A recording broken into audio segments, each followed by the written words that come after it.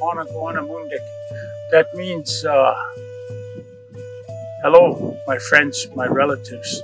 The buffalo mean hope for the future, for future generations.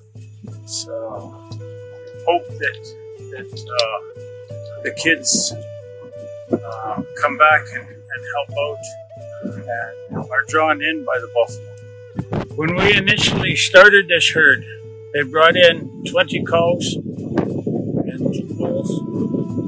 Now as you can see, this year we had 26 calves.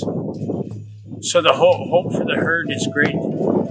We, uh, we gave away, as, as per our agreement, 20, 20 cows and, and some bulls to Sakimay. And uh, now I hear Cody First Nation is, is, is going to have the opportunity for the same agreement. And I hope, I hope that it comes true. And I hope that they do well as we have. We, we've fed our people over the past four, four years off of the extra bulls that we have. And it means so much. When we brought them in, elders uh, cried because they never thought they would see this again in our lifetime. Long ago, there was 50 million buffalo roaming North America. And in the end, I think we were down to about 550. So to see this back in our community means, means a lot. And I would like to thank Lima and uh, Wayne and Ron, the main, the main negotiators in, in bringing these buffalo back to us. And, uh, you know, for a church group to bring in the buffalo like this is uh, very heartwarming for the future.